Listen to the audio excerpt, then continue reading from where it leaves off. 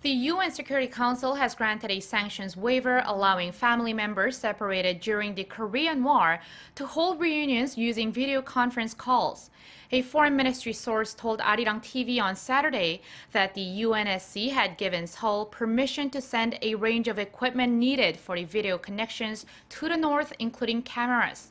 All 15 members of the council reportedly gave the green light, including the U.S., which is also working on exemptions to unilateral North Korea sanctions to support this effort.